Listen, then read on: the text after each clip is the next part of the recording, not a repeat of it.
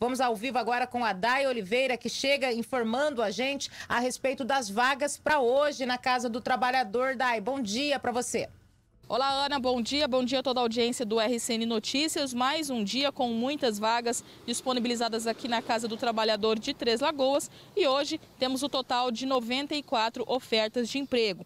Entre as vagas, Ana, nós temos seis para carpinteiro, nove para costureira de máquinas industriais, cinco para eletricista de instalações. Temos também 10 oportunidades para montador de equipamentos elétricos e 20 para técnico de eletricidade. Nós temos também vagas para visual merchandiser, temos também para vendedor do comércio atacadista, vendedor no comércio de mercadorias também repositor de mercadorias, pizzaiolo, porteiro. Para porteiro nós temos quatro oportunidades.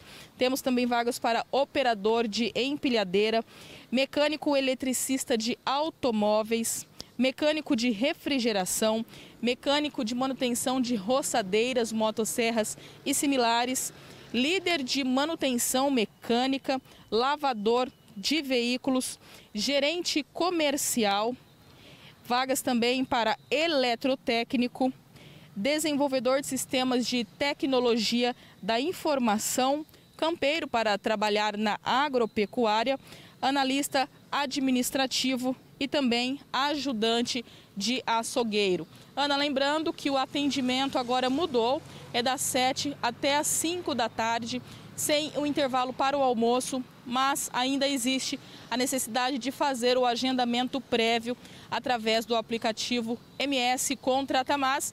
E nós temos esse link disponível aí através do portal RCN67, porque todos os dias divulgamos as vagas disponíveis na Casa do Trabalhador por lá também. Volto com você aí no estúdio.